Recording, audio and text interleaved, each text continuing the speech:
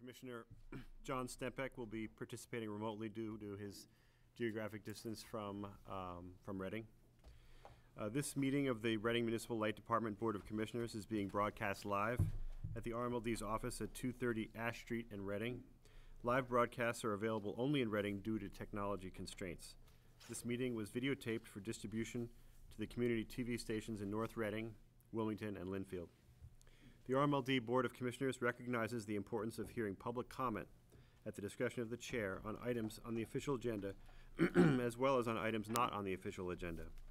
We ask that all questions or comments from the public be directed to the chair and that all parties, including members of the RMLD Board, act in a professional and courteous manner when addressing the board or responding to comments. Once recognized by the chair, all persons addressing the board shall state their name and address prior to speaking. It is the role of the chair to maintain order in all public comment or ensuing discussion. And I'd just like to acknowledge the presence of CAB Representative Dave Mancuso, uh, to our left here.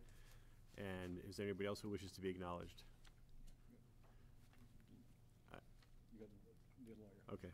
Um, Oh, Chris from, uh, from Rubin uh, Rubin and Rudman is here. Sorry, Rubin and Rudman. I'm a little jet lagged tonight, so if I'm, if I'm stumbling over my words, it's because uh, I landed from China yesterday. As long as you don't start speaking Chinese. I, I won't. It might sound that way, though. Um, And Bob Soley will be the, uh, will be the secretary for tonight's meeting. Is that okay? I just was. Well, then, would anybody else, okay, Tom will volunteer for the job. Yeah, We'll, we'll arm for it later. Uh, First, I'd like to start off the meeting with just a brief report on a matter that's been out in the public, uh, in the public uh, sector for a while. The, on the matter of the bucket trucks that were sold, and some questions raised about that. Just briefly, in April, um, following the RMLD's policy, an employee bid and, and won the bids for three bucket trucks for a total of three hundred and fifty dollars, triggering uh, questions. Uh, We immediately looked into the matter and found that our policy, which has been in place for about 20 years, is in fact does not comport with state law. Um, The, the most recent update to this matter is that the trucks have been returned, and as I speak, are parked in, uh, in the parking lot behind the headquarters. Uh, And we thank the employee for, for doing so promptly. Um, So in terms of those three trucks and any financial matters related to them, this issue uh, is mooted, but of course, the policy and, you know, the, the structure of how we do these surplus disposal is very much something that we're working on. Um, In the wake of this matter, uh, our general manager immediately, fro- among many things, um, immediately froze any other liquidations until we could update our policies. Uh, The policy committee met, and I uh, joined in that meeting, at which uh, we, we we agreed with um, the general manager's recommendation to send all of our policies out for a thorough legal scrubbing, and that, that process is, is well underway. Um, So we, um, you know, that's, that's part of what's gone on. The, hang on, I'm gonna give you the rest of it. There's quite a long list of, of what's happened here. Uh, we do have a preliminary revision to the surplus disposal policy, policy two, in front of us tonight. Um, since we've been working on this policy for, um, for a few days now, and there's been some recent updates, I think it would be prudent to, to not vote on it tonight. We have some late-breaking comments from the cab members, which we appreciate, and I think we need time to, to absorb those and, and do this properly. In addition, uh, it may be that the town of Reading has its own updating of its policies to do, and if that's the case, then we want to make sure that the, the two policies are in alignment to the extent uh, appropriate. So, uh, and given that, as I say, the liquidations have been paused administratively, I think this is not gonna, not gonna cause any issues.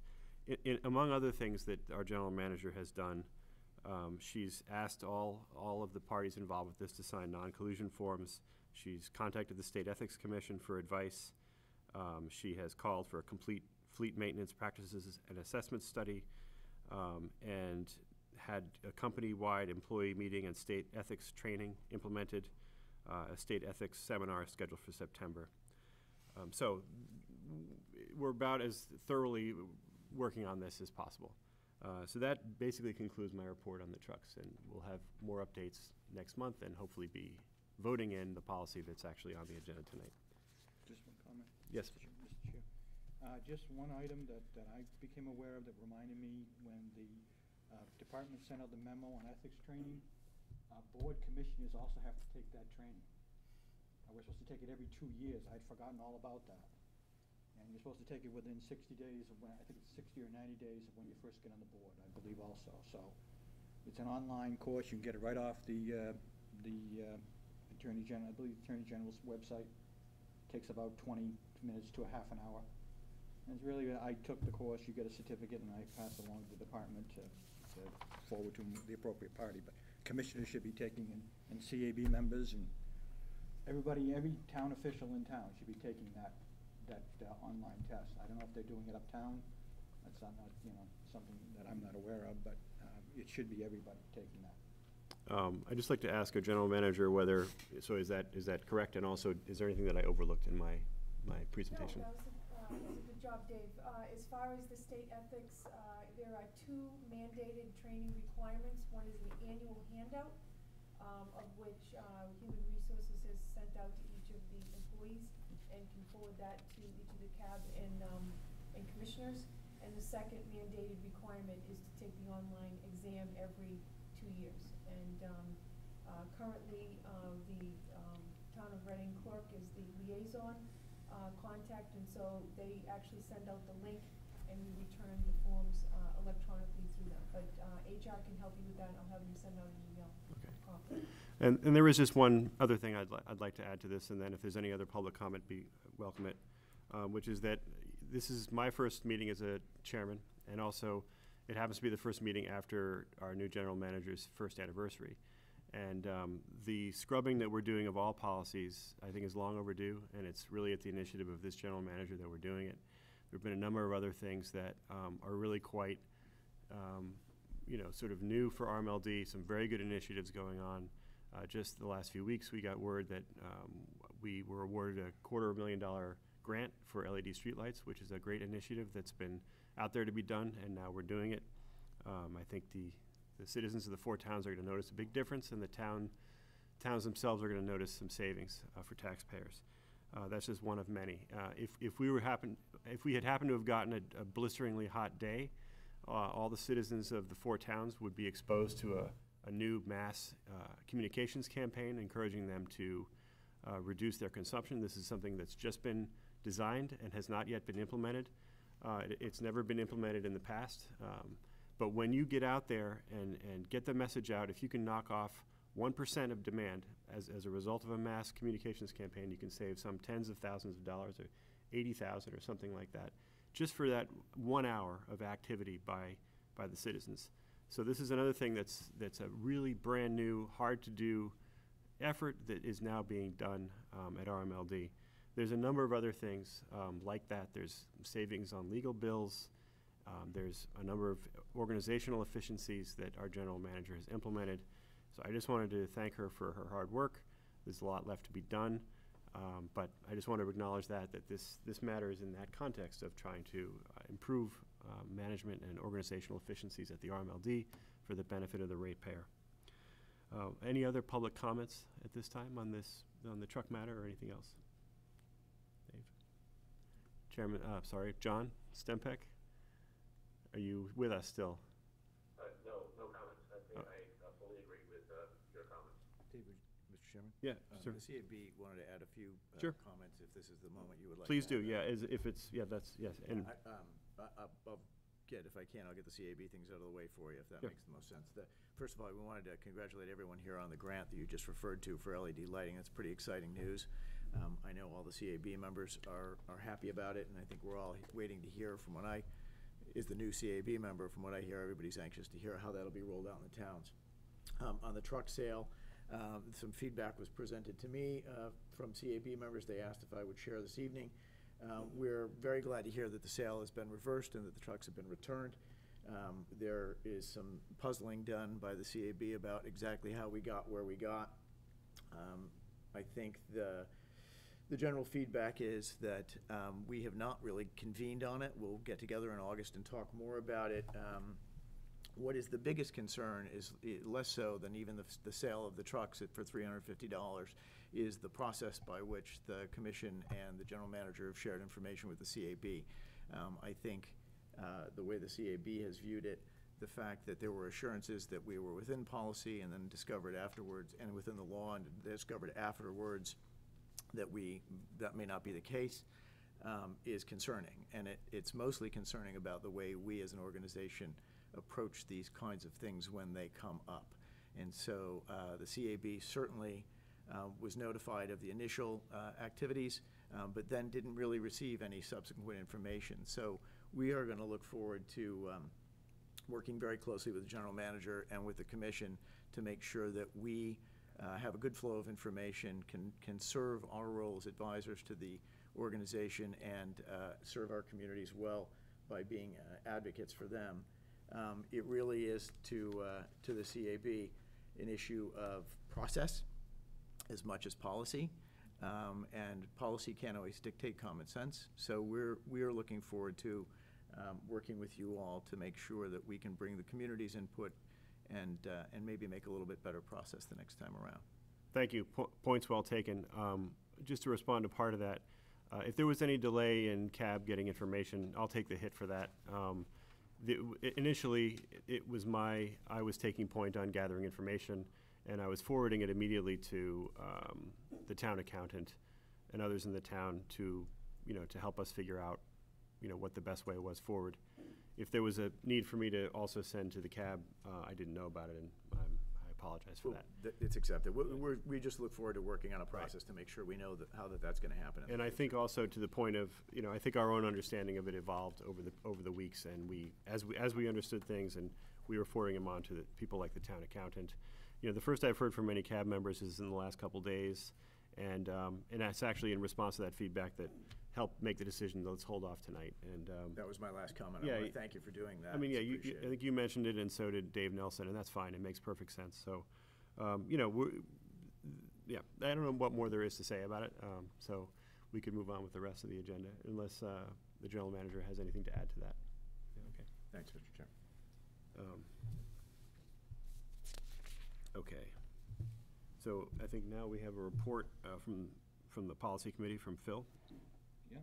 Okay. The uh, policy committee met on uh, July the 1st.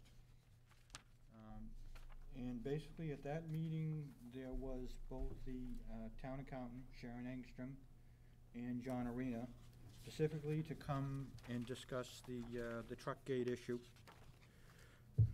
New word, truck gate. Uh, And, you know, make some suggestions as to what the policy should be. Uh, the policy committee, basically all along, had been working with the general manager and, and really felt that the, you know, had followed her recommendation that the policy needed to be sent out, scrubbed, cleaned up, modernized, I don't know if that's the right word, but, uh, there needed to be adjustments made to the policies. And so at that meeting, we met very soon after the whole thing, um, happened, so the whole truck gating happened. And it was the decision at that point to send the policies out to legal counsel, to get them cleaned up, scrubbed up, um, change, you know, do some changing, whatever need, changes need to be made uh, on that, and that's where it stands right now. Um, I would hope that at some point, the policy committee will probably meet again within the next month, I I would hope, once the policies come back. Uh, Particularly, I mean, one of the things I was gonna suggest, and you've already addressed it tonight, in terms of the policy on the surplus, the policy committee has not met to discuss that either at this point. So um, I was going to ask that you defer that until the Lisa Policy Committee can meet on that one also, too, before it comes back to this commission, so we make a recommendation to you. But you've already addressed that, so, uh, which is fine. So um, at this point in time, it's just a matter of uh, reconvening the committee sometime in the next 30 days, I would hope, and that uh, we can go forward and, and, you know, make these changes, whatever changes are necessary to move things along and clean up some things. Thanks, Phil. Um, Yeah, I think we'll end up with the tightest policy in the state. Um, One with the tightest, but that's. That'll be among the, among the tightest in the state. Um, And I think, so I think what, at this point, is there anything we need to do to formally not vote on this, just from a procedural standpoint? Okay, so we will formally not vote on this. Um, Now, the next item on the agenda Uh, then, Mr. Chairman. Yeah. Uh, Could we give you some comments? Yes, on absolutely. the policy? Absolutely. Absolutely. Send those to, have the manager. Give them to Colleen on that, okay? So moving along, um, Yeah, and, and quite, if any of the commissioners have any other comments, please send them to the general manager's, Yeah. the general manager's office. We will, there's Both been, the- been if some email. CAB members also, if they I have, know if it'll they be have on the comments. agenda in August, and if we need to move faster Right, than that, you just right. let us know and we'll, And even, you know, so, we'll do so. okay. Very good. Okay, so then the next item is also Phil reporting on an update uh, on the charter committee. Okay, now, um, you have in the package tonight the legal opinion from Rubin and Rudman. Um, I am for, a member of the uh, Charter Review Commission. That's basically reviewing and updating the, uh, the charter at the Reading Town Charter at this point. Uh, One of the issues that has now been raised at this point in the Rubin and Rudman, and I need some guidance from the board at this point, is the, in the bylaws, in the uh, charter, there's a couple of items that are concerning to the, to the general manager and legal counsel. One is the uh, appointment of the accounting manager and the chief accountant of the Reading Municipal uh, uh, Light Department, and that, they try to make that be appointed by the uh, board, the commission. The other one is basically the adoption of section uh, 30B at this point. Um, In terms of the two issues there, the feeling and the, the legal, the legal uh, opinion is that they conflict with the state law at this point. Um, That under the state law, under the, under section one sixty-four, chapter one sixty-four, section fifty-seven, I believe, is the correct, the correct notation. Fifty, fifty-six, close. Come on, I got close. Uh, Basically, in the, in terms of that, it says the general manager is responsible for all the employees of the department. The only response, the only grow- person that the commission is responsible for is the general manager.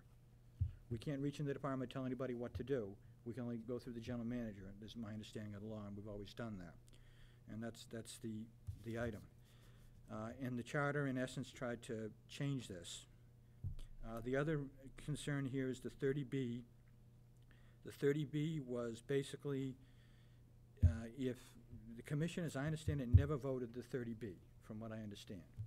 Uh, I don't know if we did that intentionally or unintentionally.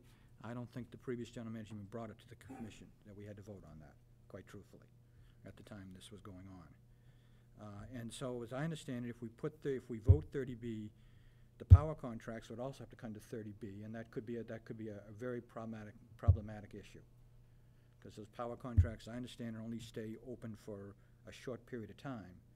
And to go through the thirty B process, you will not be able to get the best deals, quite truthfully. And I- And I, correct me if I'm wrong at any time here, please. Or if I'm saying. The, the third item that you have here is the, uh, basically the information, the re- presentation to the Reading Finance Committee.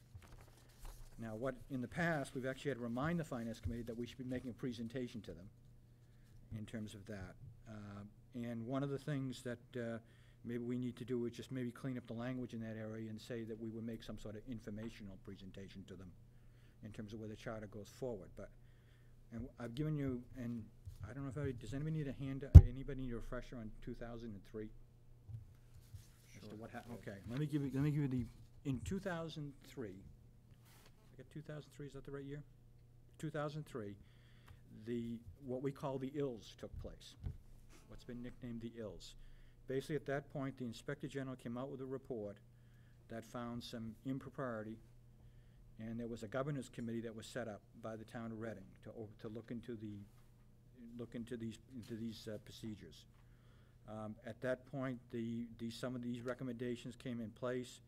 The fact that the uh, board would appoint the accounting manager, that the uh, thirty B would be put in place except for the power contracts, and there'd be some sort of informational meeting to address the, the thirty B governance at this point. And that's really what, what, uh, what took place in two thousand three at that point. There were other things that were proposed at the time. They were proposing that the, uh, the commission be appointed, which would have wreaked havoc, quite personally, with the, the three outside towns, considering that the majority of the, uh, the, these, uh, our customers are outside of the town of Reading. Would have been a, a major problem going outside of town, so. Um, and that's what happened in two thousand three, and these changes came about at that point. Uh, What I'm really looking for at this point is some sort of guidance. There's a meeting, the committee is meeting next um, Monday night at this point. I need some sort of direction from the board.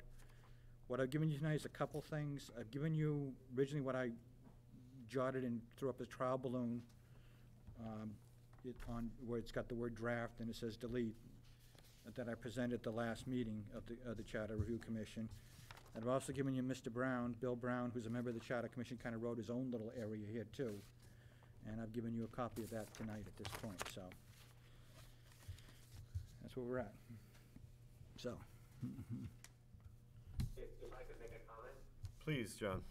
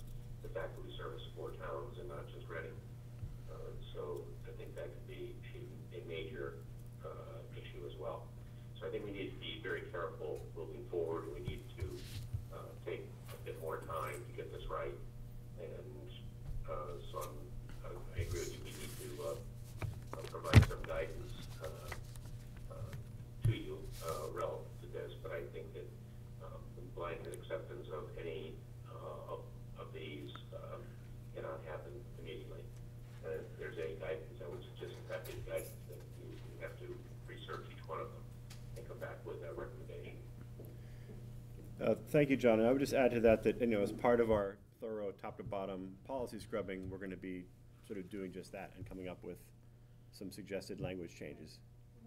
I'll make a comment. Please. Um, as I said my recommendations, uh, there's nothing that we can find that anyone has ever voted, uh, that's, you know, the, the ad hoc committee or anything that had happened in the past. Only the Board of Commissioners can vote to adopt thirty B. And when you would vote to adopt thirty B, you can't do it in pieces. It has to be its entirety, which would exclude us from being competitive in power supply completely. So what you do have right now is the procurement policy number nine that essentially adopts thirty B in some fashion. Uh, that's being sent out to be scrubbed, and that's my recommendation, is that you would continue to follow thirty B because it's good business practice, but you would say in the policy where it makes sense and where it doesn't make sense, uh, to prevent, uh, any type of, um, competitive, uh, uh, process for the RMLD in, in its, um, enterprise, uh, um, structure. So, uh, that speaks to the thirty B. As far as the, uh, and Priscilla just went to get my policy numbers, but, um, you have a policy right now that actually says that you can appoint the town accountant, and that is in violation of the law, and that is one of the reasons why that policy is being sent out.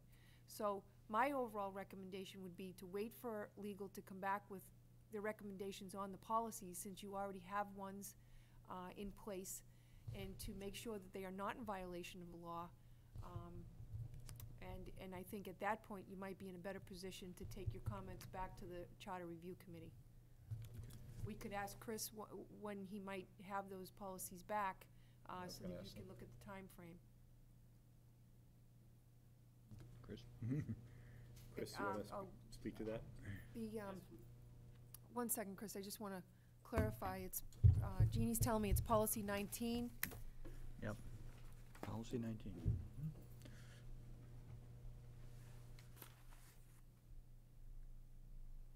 Which is simply the Board of Commissioners policy. Right. So that's, um, there are vi- there, there are, uh, uh, line items in that policy that, um, you know, similar to the truck policy, need to be, you know, reviewed and scrubbed to make sure that we are not, um, out of compliance with law.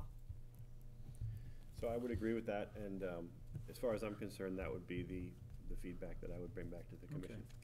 Yeah, the only thing that I will add, that it, the, uh, I remember in two thousand three, that the town attorney, at the time, disagreed with the memo that you, you have here from Rubin and Rudman. So, that is, the town clerk is, has submitted the copy of this, this memo, this opinion to the, to the Reading, the new Reading Counsel, to get their opinion on this, whether or not these changes, uh, can be made or not, at this point. That is one of the decisions that was made at, the- at the Charter Review Committee. Do we want, um, counsel to Sure, make any comment? please. Yeah. You wanna Step up to the microphone, Yeah. please, and uh, So the- state your name for the Yep. folks in the The cable cheap TV. seats. Um, if my, my, make a, a comment? Please, John. Um, submitting things to the town counsel, isn't that a bit of a conflict of interest? If you want us to use the town counsel as well as the uh, town accountant, or did I, uh, did I misread that? I thought it was the accountant as well as counsel. No, no, it's being submitted only to the Reading Town Counsel. Could the, uh, the Rubin and Rudman opinion is, is being reviewed by the Reading Town Counsel also at this point. Clarification, John, is on who appoints, uh, RMLD's accountant and RMLD's counsel. Is it, Thank what you. may, I, I wasn't sure whether it included both the accountant and the counsel. I I may be wrong, is And, it, and so you could obviously be a conflict of interest to submit something to the counsel Hmm. for, um, for, for an opinion on this. is it, is, is it the town auditor that was also, weren't there two positions that we were discussing? Or just, was it No. only the, uh, Policy nineteen says the accountant slash business Right. manager is appointed by the board. Right, it's only the, the, and that's not being it's questioned? basically that in terms of the audit, the, the board has a representative on the, on the Town of Reading Audit Committee. And it's basically, we use the auditor that the town of audit, the, the audit committee selects, is the one that we use. So, Okay, okay. Chris? Uh, You had asked about timing with respect to a v- review um, of the purchasing policies. Um, i- In looking at a, I'm sorry, I can't hear who's speaking. oh, I'm sorry, um, Commissioner Stempak, Uh, my name is Chris Pollard, counsel for the RMLD uh, from Rubin and Rudman, and was responding to the question um, from Commissioner uh, Chairman Talbot uh, with respect to uh, timing involved in reviewing the purchasing policies. And in looking at a calendar and thinking about what we need to do to complete that process, um, I would think that a uh, reasonable time frame would be uh, mid to end of August. Uh, we need to review the policies, research the applicable law, meet with the um, applicable uh, folks at RMLD who are in charge of purchasing, um, figure out what aspects of 30B make sense for the department, what aspects don't, um, and what other good practice purchasing um, practices should be included. Um, get a draft together, have that reviewed and commented on by RMLD's staff, and then present um, a final uh, recommended policy to the board for its review. Thank you. You're welcome. So we don't need to take any action at this point, or do we need to? Can you just reiterate, uh, what you sent in legal opinion as far as the laws that relate to the town account, I mean, the, um, RMLD accountant counsel, and also maybe speak to the audit, auditor, of selecting an auditor? Um, Yes, the, um, General Laws, Chapter 164, Section 56, um, specifically says that the general manager um, shall be responsible for hiring um, employees, agents, and counsel. And uh, the Galubic decision um, has looked at aspects of 156 and- and other cases have as well, and have opined and clarified, further clarified, that it's the general manager um, exclusively that has the charge of all employees, agents, and counsel um, at the RMLD.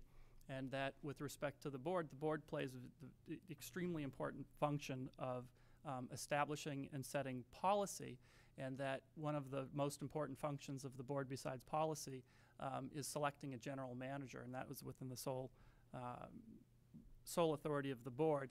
Um, But then, with respect to the department and the day-to-day operation of the plant, which includes the hiring of all these people, that is exclusively within the control of the general manager.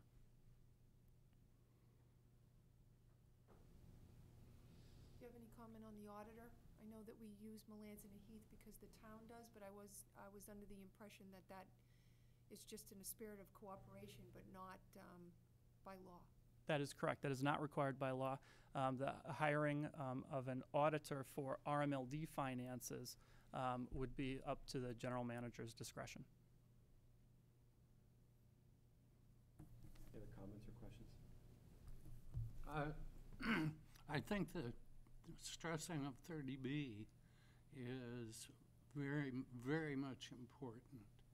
Apparently, the town charter says that RMLD should use 30B, but not for power supply. And as already been pointed out, if you take one bite, you have to swallow the whole thing on, on 30B. And the power supply contracts, as has been pointed out to us, typically the offer from the vendors is open for one hour. So light department has one hour to look at the offerings and decide which, if any, of these to take. And within chapter thirty B, you just couldn't do that. Uh, Apparently, no other muni has signed up for chapter thirty B because they have looked at that very uh, instance and realized it makes life unworkable. So I think that needs to be stressed to the committee, Phil. Yep. And at, at another time to town meeting also. Any other comments or questions? Okay, so let me, let me just make sure that I understand what directions I've been given, if you would, please, Mr. Chairman. Uh, Basically, the committee is asking, the commission is asking me just to kind of hold off and wait until we get the policies all scrubbed, and to move forward at that point, at this point, at that point. So, that's what I'm hearing from the, from the, from the commission. Am I, am I hearing correctly? I believe so. so. Uh, Okay, Manager. very good. I just do want to confirm. yeah. John, is that okay by you?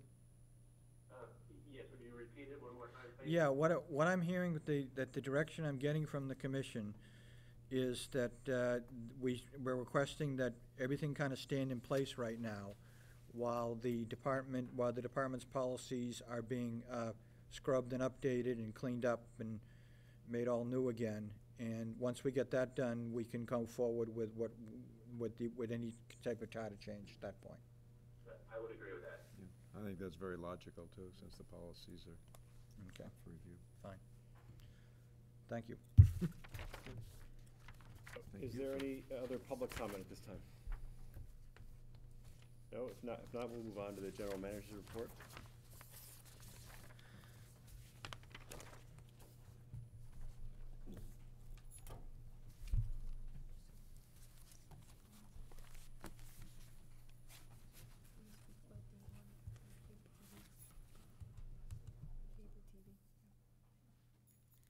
Uh, Thank you, Chairman Talbot.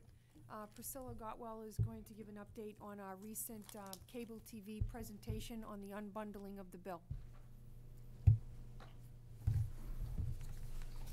I think that I had sent the YouTube connection to the commissioners. I don't know if you all got to see it, but we, um, Jane Parenteau and Colleen and I um, were filmed, I think it was on June 25th or 6th, and we talked about um, the unbundling of the rates. Uh, We had a dem, uh, presentation of a poster that uh, showed the new line items and the explanation, and- and subsequently put it up on the website so that each line has um, its explanation.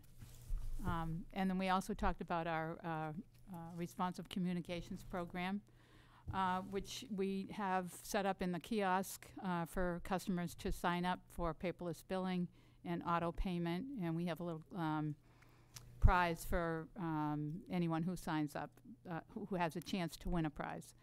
Um, That night, we had, um, we were set up for questions from the public, but we had no one attend, or we had no one calling in, but we had prepared questions, and I think that we covered it pretty thoroughly. So, Thank you. did you want me to talk about anything else in, c- in public relations?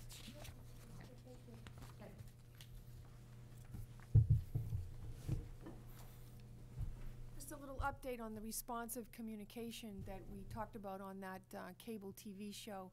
Uh, We recently met with all of the fire chiefs and, and a couple of the town managers uh, this past week, and the police department, and discussing more about utilizing their um, reverse 911 system, whether it's Everbridge or uh, Code Red. Um, uh, Hamid Jafari and his staff has helped put together the um, uh, the power watch and, and um, voltage reduction uh, um, scenarios that could occur that will go to those systems uh, while RM, RMLD works uh, forward in, in their technology uh, strategic plan that may come up with using their own system in the future. But for right now, in order to get out that information, in the unlikely event that there's uh, an ISO New England grid system operation, such as a public appeal for conservation or a voltage reduction or anything, perhaps maybe because of the shutdown of Salem Harbor, we just want everyone to know. So if you have an opportunity, we're requesting that you sign up at the kiosk or any of the Everbridge or Code Red kiosks that the police and fire have throughout the four towns. One other thing, Colleen. Yep. Um, we also are in touch with all four superintendents of the schools in the towns, and each one of them has agreed to, um, if, as, when we send them, um, an alert, that they will contact all the parents if they have emails for it. And I think that they probably have a more thorough, uh, email system than many of the rest of us at this point. Thank you for that. What, do- what do citizens have to do with the police and fire exactly? What's this kiosk? Uh, the police and fire are the safe, uh, public safety that, uh, is in charge of the emer- emergency, uh, communication systems, which are our Everbridge or, or, uh, Code Red. And so we, uh, presented, um, what it, we presented what our power, uh, alerts would constitute, uh, somewhat of an emergency. No, I get that And- part. I'm wondering, what does the citizen have to do, if anything, to receive such alerts? You Uh, mentioned something about. Right, the, the alerts are a power watch, which will basically say you should conserve between these hours on this day. It'll come out if you're signed up on the kiosk to get those alerts, whether a text or an email, Because that's the part I'm trying to just right? unpack, yeah, okay. Yeah. If, when you sign up on the kiosk, um, for each of the towns, you can receive the alert. So Okay. where are the So kiosks? That's what I mean, is like, what does sign up at the kiosk mean? Like, Well, we have a kiosk here in our lobby, Yep. and then, uh, do you know where the kiosks are for each of the four, each of the three towns? Uh, Reading has one right at the police station in their lobby. Okay. But, but simply, um, citizens can go on the regular, um, um, town websites and opt in for their emergency alerts, and, and they will get those alerts that Okay. way. So what we're saying to the public, if anybody's watching, is go to your town's website and Right. sign up for the public safety alerts, Yeah. which can be found where on the websites, like at the, under, is it clear where, where people can find it so they can do the signing up? Uh, I think it's a community link, I think it says community link. So hunt around on your town's website, I'll, I'll, find it, I'll get that. sign up, that way you'll get the alerts, and, uh, we'll all be better off. Right. So we, The alerts will al- be, also be sent to all four cable TV, Yep. uh, community, uh, as well. thank you for that, that's a Um, great initiative. The next, uh, line item, uh, is, um, uh, Chairman Talbot uh, briefed, uh, gave a little brief on, I'll, I'll expand just a little bit.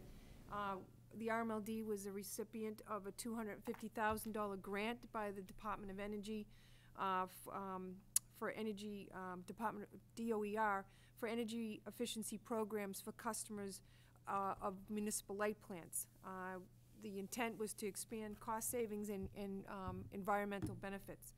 The RMLD will receive seventy-three thousand dollars for commercial industrial LED programs, forty-seven thousand dollars for residential LED programs, and then thirty-one point two five thousand each for LED streetlight conversions for each of the four towns, Reading, North Reading, Wilmington, and Lynnfield. Um, and that, uh, plays right into our, uh, six-year transparent, um, capital budget that was calling for the LED um, conversion program over the next three years. The LED pilot program, now that we have um, unbundled the rates and we uh, have a new LED streetlight rate as well as a low-income rate, uh, the LED pilot will commence this week.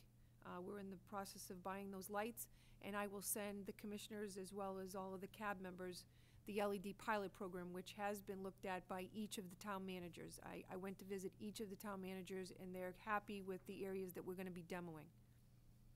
Very good. Okay, next, next item? That's a Next great, item. great initiative. Okay, next item on the list is the uh, charging station. The RMLD is providing a joint venture partnership for electric charging stations at the place of their businesses.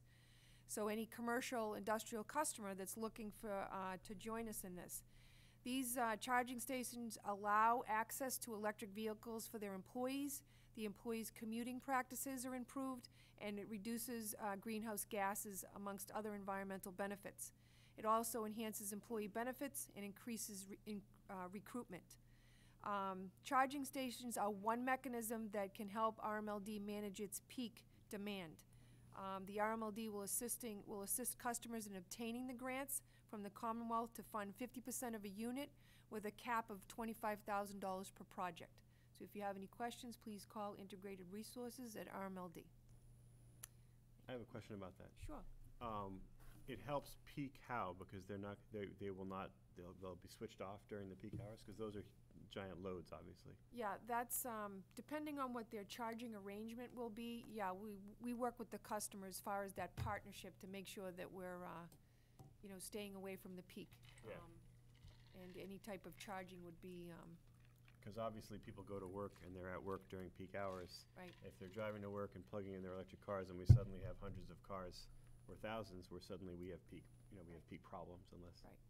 Yeah, the charging scheduling is played into that partnership so that there's a win-win on both sides. That's another great initiative. Um, it's something I've been thinking about too, which is since we're so close to the highways and there's a lot of eighty mile range electric cars out there now on the roads and more coming. And people need places to charge that's convenient to highways. That for the future, maybe we can think about building charging stations for the public that are convenient to, um, highway interchanges if we can. And it would be another way to generate business. Yeah. Just an idea out of the blue. Yes. We just want to be careful if people were to install them, you can't sell for resale. That's Correct. part of the terms and conditions, so we Right. just want to be cautious of What that, I'm so. saying is that we could be right. doing it. No, I know. Okay. I'm just, I'm just trying to send that out there. If Right. you're interested in building one, just make sure that you're in compliance with uh, the terms and conditions of your, s- of your electric provider in Good this point. territory. because there are social media sites that list charging stations, and if you look at them, you'll see that people do put their charging station in their driveway on these social media sites, and people will, will find those, and that's, that's not allowed, so. Right. um, We'll, we'll be watching for that Mm-hmm. and switching you off, I'm just kidding, but, um, it's not, it's not allowed, but it, maybe it's something RMLD could do directly, and that generates sales, and, um, Okay, I have Carrying one, on. one last item, uh, on my list is the MWEC debt retirement. Mix one of our power supply consists of three megawatts of Millstone, uh, nuclear plant and three hundred KW of Seabrook nuclear plant. And as of July first, um, this debt reduction reduces capacity costs by nine hundred and eighty-two thousand dollars this fiscal year. And, uh, I included that in the budget. So when we redid the budget and laid out, um, the six-year plan that was put in there.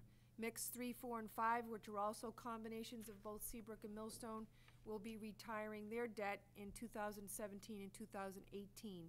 Uh, those were both, those were about one point two million dollars apiece, and those were also included in the, in the, um, in the budget. moving on to the power supply report, Bill Selton.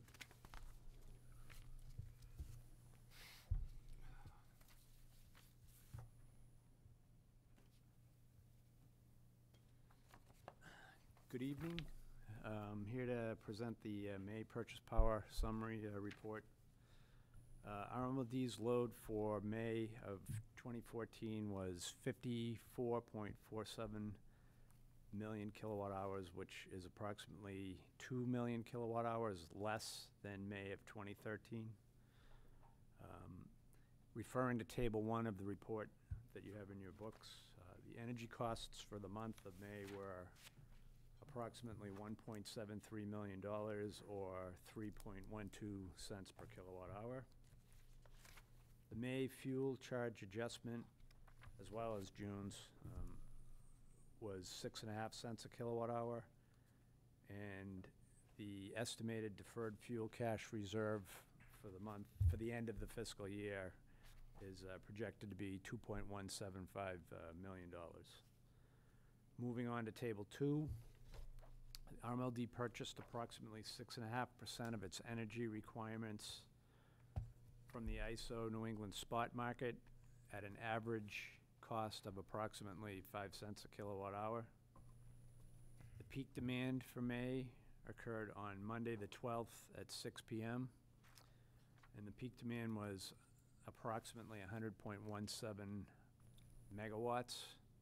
And the temperature at the time happened to be about forty-nine degrees. This compares to a twenty thirteen May peak demand of hundred and forty-three point eight three megawatts when it was about ninety-two degrees. So there's a little weather, weather, uh, action there. Moving on to table three. RMLD's monthly capacity requirement was two hundred and fifteen point five seven megawatts for May. The total capacity dollars were one point three seven million, which equates to about six dollars and thirty-eight cents per kilowatt month. Table four shows the combined capacity and energy costs, as well as the amount of energy that was generated by all of the department's projects that we participate in.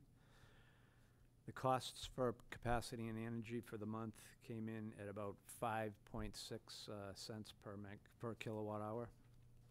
And of all of the kilowatt hours generated for the month, fourteen point two percent were um, purchased from hydro or um, uh, green, green power sources.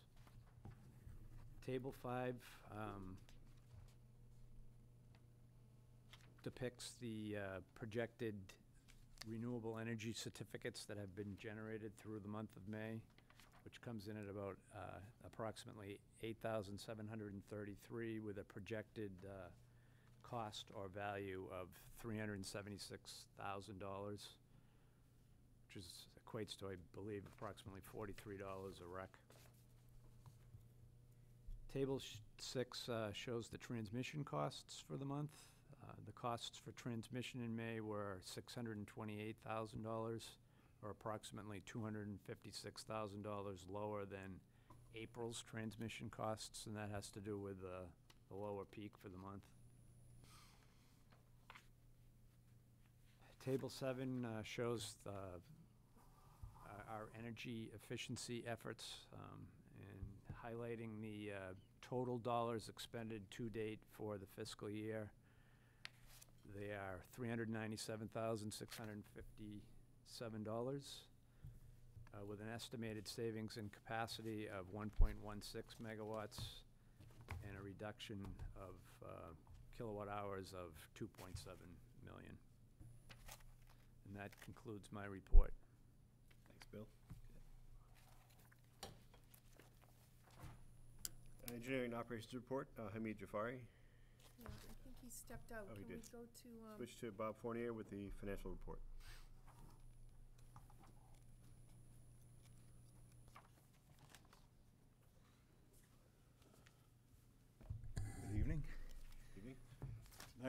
Be presenting the May financials, which represents the 11th month of our fiscal year.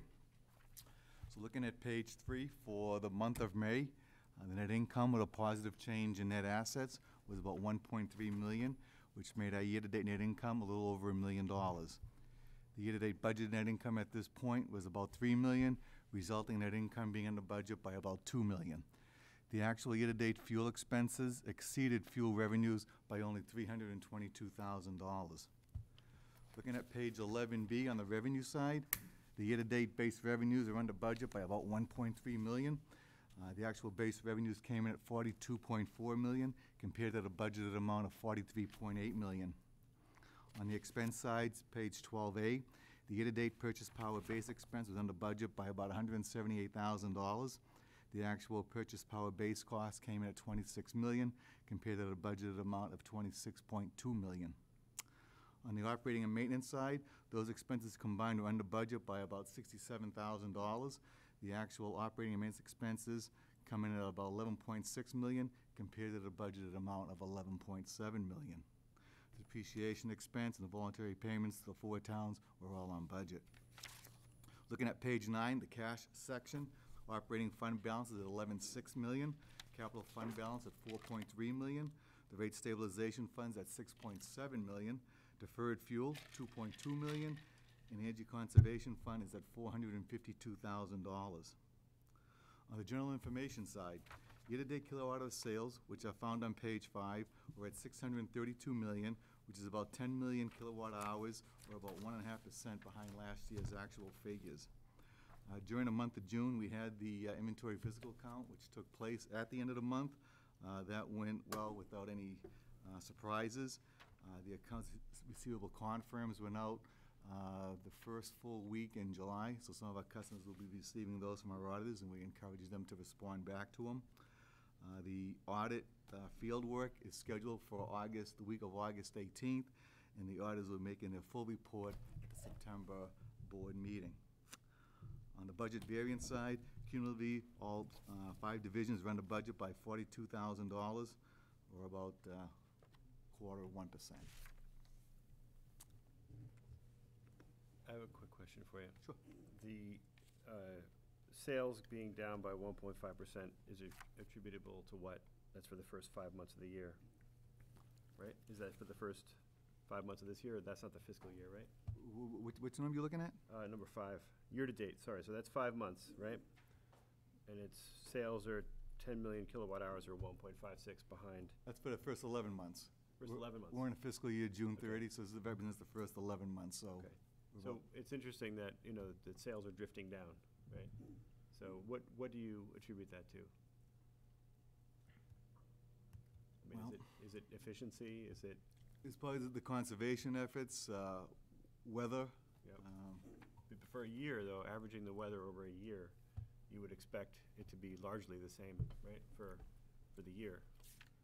So I, I guess I'm just pointing out that, the, you know, the overall business model is, you know, is, is sort of flat to, to declining because trends are lower consumption for a variety of reasons. In, in spite of development that continues, um, you know, there's, sales are, are declining. So it's, it's something for us all to keep in mind that as we keep on the same path, we're gonna expect to see less sales and more pressure on our finances. And, uh, it, it- just, it, it suggests a need to look at new ways to, to, to drive the business in different directions, new initiatives that are not what we're doing now. What those might be, um, we could discuss at other meetings, but, um, that's all. Internet, did I say that? Um, That's all. Anybody else have any questions or comments? Yeah, I guess to, just to follow up on that, so if we looked at the month to month, is it a, is it kind of a constant decline, five percent decline? Yeah, you or is can it- look at, if you compare May, uh, last year, May, we're about, uh, down two million, uh, kilowatt hour. So if you, you know, if you even average a half million, seven hundred fifty thousand kilowatt hours per month, you get to the ten million pretty quick. But even last, last, uh, year at this time, uh, we're two million doll, two million kilowatt hour sales down. Um, um, So, yeah, I it- mean- It's really a, f- it's really a reflec- reflection of the weather. If you get a nice cold snap or, or Right. a hot spell, you know, plus our conservation programs are, are working. Right. So within a month, you can expect the weather, but it- over the course of a year, you would expect those to be more or less average, that you've had more cold or more hot days, but over the course of a year, generally, they should be about average, the, the weather-related effects on consumption, In theory, yeah. in theory. Yep. Um, So, yeah, so there's a a drifting down of demand and a drifting up of fixed costs, meaning transmission-related costs, which will be putting pressure on us over the long term. Um, So, thanks, Bob. Any questions? Any thanks, other- Bob. Good. And uh, Hamid Jafari, we, uh, we missed you last time, but we're glad to see that you're back. And he's gonna present our plan for selling data to the four towns. He's been working on this all week. He's got a complete plan for this. Just kidding, I'm joking. Good evening.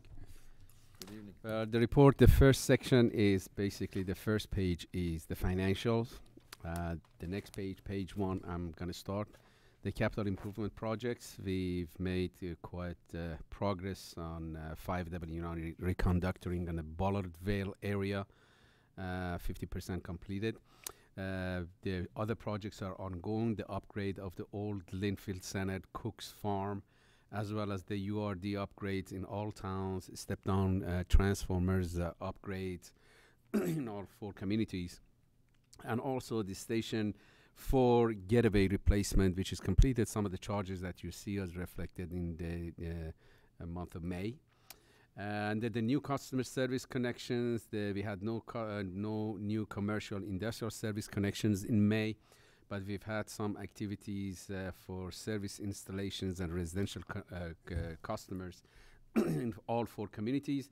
The next page, you see the routine construction capital improvements. As you see, uh, we've made, we've had quite activities in the month of May. Had number five projects completed uh, in uh, North Reading, Reading, and uh, Wilmington, including the Station 5 RTU replacement uh, at Station 5. we had seven pole damages that were hit by cars and in the other areas such as the uh, underground uh, subdivisions, the new constructions, we had three completed in Wilmington, uh, two in Wil- Wilmington and one in Reading, and we had miscellaneous capital costs uh, of uh, $57,000 to 724. So the total activity for the month of May was $156,664 that you see over there. Uh, under the maintenance program, we have seven maintenance uh, areas, maintenance programs established, uh, and we're making quite progress on those. Uh, under the age and overloaded transformer replacements, we've had number of single-phase transformers uh, replaced in all four communities, as well as the three-phase transformers that we're inspecting. These are the ones that aged over 20 years old, and uh, we are uh, planning to replace them as we uh, go uh, because of the age and the load, obviously. Uh, the pole testing system, the bid, we had a bid, request for codes. We received the codes, but uh, the, we, the, we would like to do the electronic testing as, as opposed to sound boring, which only one vendor uh, coded, and uh, it's going out again. So this time we're hoping that we have more participation from the vendors. Uh, 13.8 kV, 35 kV feeders pro qu- inspections, quarter inspection. That's going quite well. We've completed, we completed four in the month of May. The manhole inspection program, it's in development. The porcelain cutout replacements, uh, we replaced total of 44 cutouts uh, uh, and upgraded those. Uh, the infrared scanning the substations that started in month of June, uh, it's completed in month of July also completed. This program started in, in month of May. So we haven't found uh, significant problems at the substations with the exception of few minor issues that we are uh, addressing and we're taking care of. Uh, and then the system reliability, as you could see on page three, the system average interruption durations for past four years. Uh, for the month of May, uh, we're doing well. It was 6.26, which is well below the national average and the regional average. System average interruption frequency index was quite good too, was 0.16, which is again below the national and regional average. And uh, lastly, the customer average interruption duration, as you could see on the chart, it's 38.13, which is again uh, well below the national and uh, regional average. On page five, you see 2014 uh, outage causes types uh, year to date, uh, mm, ending May 31st, 2014. Uh, as you could see, 30, uh, 48% of those were related to equipment. These are the transformers and cutouts and uh, failures that we've had due to the equipment problems.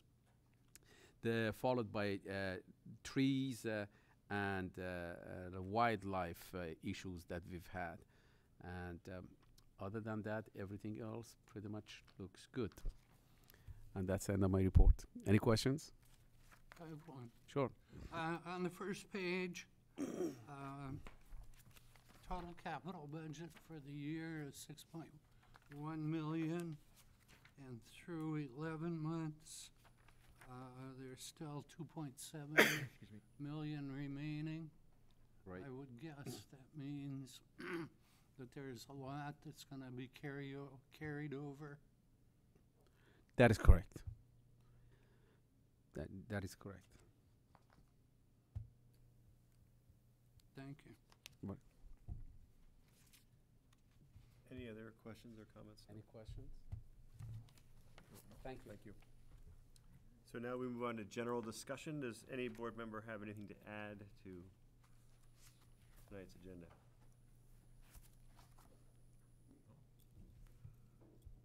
John, any uh, ads from your side? No, I'm, I'm fine, thank you. Okay. Uh, Then I guess we need to move to go into executive session unless I've overlooked something, which I have. what's her, Try to, uh, set up the next board meeting. Oh, correct, Just a okay. suggestion. So, do we have an August date set up yet? Well, this is, the CAB is meeting on August thirteenth. Mm-hmm. Um, The problem with August, it's gonna be kinda tough, cause you, the board's gonna be at the NEPA conference. Right. Right. I mean, if you wanna go for the first week, is maybe start, get a policy committee the first week of September. Oh, I see, so skip the August meeting. That's I fine. mean, it's gonna be kinda So- tough, I mean, Yeah, yeah. okay. Then maybe for the first week of September, get a policy committee meeting and, and stick with the, the end of September date. Because the only problem is you, you're not gonna get the financial information, that's the problem, if you Right. schedule it prior to that. Yeah. Okay. There's no realistic. objections to that. No, I think that's, So the proposed dates of Thursday, September 24th, and Thursday, October 29th for our next uh, board meetings. Right, Is that- may- Maybe you wanna try to get a, um, policy Policy. committee date set up you right get a policy committee date set up there somewhere in between? Yeah, I'll send out emails. when Yeah, send out an email. Yeah, okay. and Let us know on that. Like for the first week of Um, September. Just as a a quick item, I, I now have to withdraw from the uh, conference this year. I cannot make it. Okay, The state of New York would like to see me on the twenty-sixth, okay. so. Hearing the, the client, so.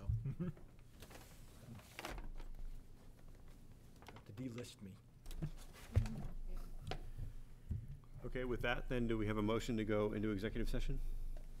I'll make, you ready, Mr. Chairman? Yep, Phil? Move that the board go into executive session to discuss mediation and union negotiations update and to return regular session for the sole purpose of adjournment. Uh, second? Second? Uh, we have to do a roll call, right, or Yeah, do we? poll the okay. board. Uh, poll the board. Bob? Aye. Aye. Mr. Pacino, aye? Tom O'Rourke, aye. Talbot, aye. And with that, uh, John the end. Uh, with that, the motion is carried five oh oh. We now adjourn to go into executive session. Thank you. Thank you.